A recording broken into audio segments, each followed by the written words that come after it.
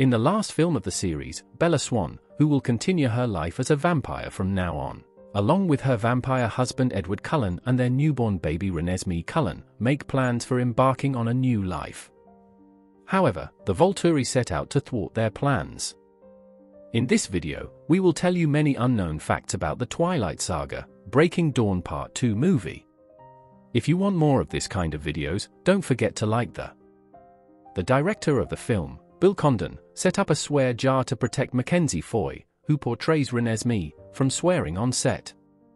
Any actor or crew member who swore was instantly fined, and the money collected in the jar was donated to St. Jude's Children's Hospital.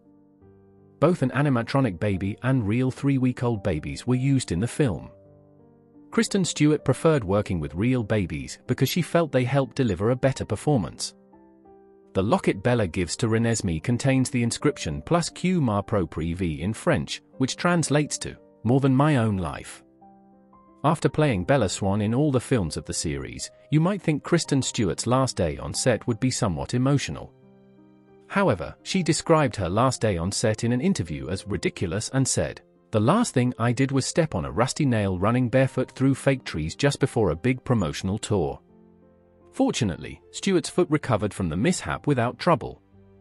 In the series, actors like Kristen Stewart and Taylor Lautner wore wigs, and even Robert Pattinson wore a wig in the final film. Pattinson expressed disbelief about having to wear an orange wig for the last two days of Twilight during a Comic Con panel. Dakota Fanning, who portrays the character Jane, has only one line in the film, which is simply pain. There's an epic battle when the Cullens and werewolves confront the Volturi. However, there's also a version where the Cullens dance in a choreographed manner, which surprises the opposing vampire armies. Mia Maestro, who plays Carmen Denali, organized the opening.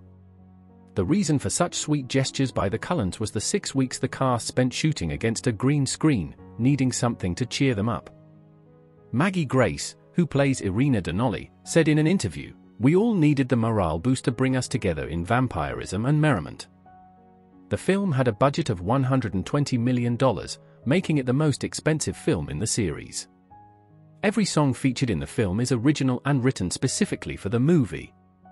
Jackson Rathbone, who plays Jasper Hale, and Rami Malek, who plays Benjamin, previously acted together in the TV series, The War at Home before the film. The final line of the film is Forever, which is also the last line of the novel. According to IMDb, this film is the highest rated in the series with a rating of 5.6.